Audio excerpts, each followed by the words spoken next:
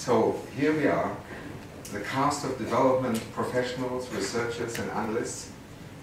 Are we, in a sense, part of this reality or do we stand outside it?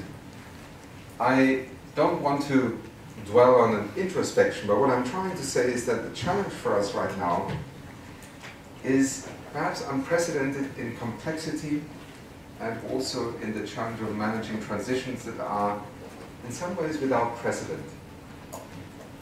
Why do I say that? Well, the prolonged fiscal aftershocks that we are living through right now are manifesting themselves in a level of extreme poverty or alienation that now touches the lives of hundreds of millions of people.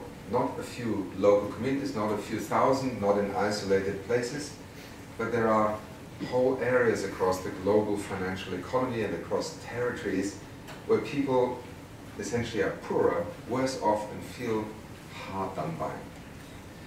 We're also facing a phenomenon of mass movements where the foundations of the right to protection are being questioned. Foundations that have been part of our international principle of solidarity, but also of a rights-based approach to assisting people who have to flee their country, are being questioned.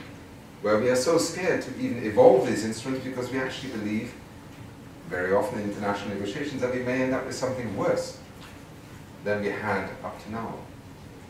Dramatic technological change and all these phenomena resulting in a transition that, in one respect, is without precedent.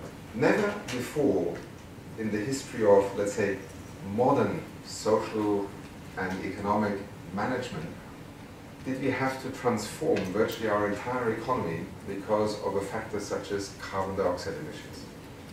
Yet what climate change and what the Paris Agreement and what science and what increasingly also economics tells us is that that is precisely what we have to do. We have to decarbonize our economy in a global setting, literally within 40 years. Otherwise, there is no guarantee of this two-degree pathway. Now, when you say that, in an age where fossil fuels have been the blood in the veins of our countries, of progress, of development, of um, technology deployment, you are deeply disturbing the entire system. But it's not only climate change that is imposing this extraordinary phenomenon.